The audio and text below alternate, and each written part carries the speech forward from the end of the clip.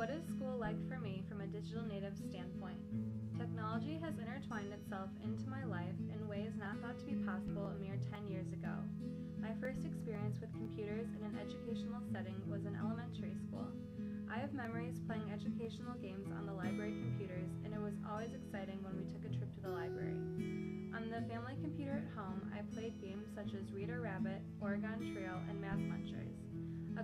Years later, when I entered fourth grade, I remember learning how to type. I was one of the first students in the class to master typing and had a phenomenal word per minute handicap.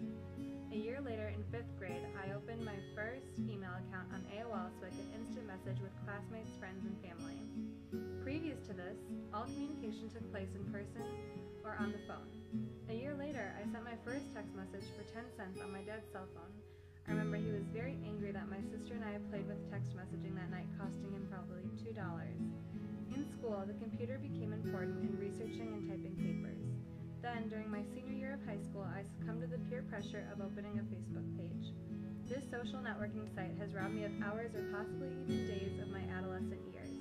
It has certainly distracted me from my studying patterns that used to be so simple in high school. Logging onto my computer used to mean I was checking email instant messaging, researching, or writing papers.